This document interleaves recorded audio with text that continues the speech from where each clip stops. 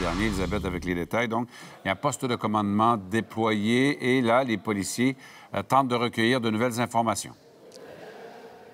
Oui, et vous allez voir sur les images qu'on a captées, il y a les enquêteurs, bien sûr, des crimes majeurs, mais ils sont accompagnés d'intervenants sociaux. Pourquoi? Parce que la victime, Michel, dans ce dossier, ben, c'est un homme de 47 ans, une personne en situation d'itinérance. Et là, pour l'instant, il n'y a pas d'arrestation. Donc, euh, ces gens vont tenter de recueillir davantage d'informations pour vous donner une meilleure idée des circonstances. Vous revoyez donc des images de cette scène. C'était lundi, la semaine dernière, vers 10 heures en matinée. C'est là que l'homme a été retrouvé là, grièvement blessé, blessé à l'aide d'un objet tranchant.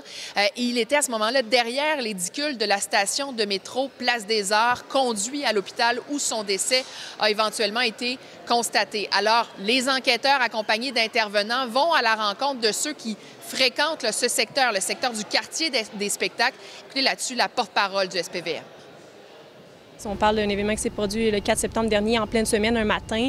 Donc, on pourrait les, les mettre en contexte, euh, leur parler de cette personne est-ce qu'ils la connaissent, puisque nous, à notre niveau, un, cet homme-là de 47 ans avait été identifié, puis c'était quelqu'un qui possiblement fréquentait l'endroit ici.